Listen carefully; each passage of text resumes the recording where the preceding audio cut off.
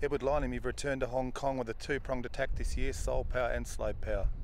Yeah, they um, both were very kindly invited and love coming over here. You get very well treated. It's a great race and um, I suppose an ambition of mine would be to win the Hong Kong Sprint or the Hong Kong Mile. So we'll give it a go.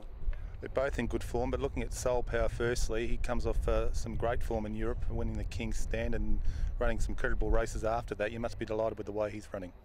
Yeah, he's added consistency to his game the last 12 months. Um, he's trained very good, very happy with him. He's fast enough to win a Hong Kong sprint. He's just got to settle and, you know, deliver that sort of run he delivered in Ascot. I guess the question mark with him might be getting the six furlong. Is that a concern for you? If he settles, he'll get it. If he doesn't settle it, he won't get four of it. He's got to settle.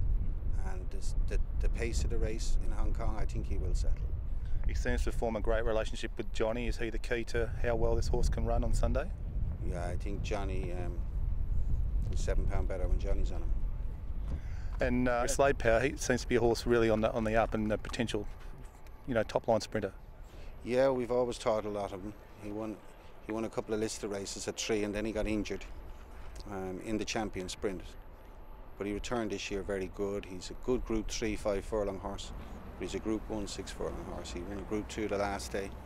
Um, he's very tough, but mentally he's not just as forward as the other horse.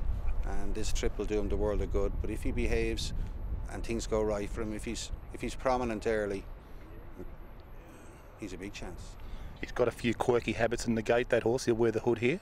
Yeah, he, he can just get a little bit restless in the gate. Touchwood, he's been very good the last couple of times, um, but he needs to break quick over here. They go very quick, and he needs to break quick to get a position.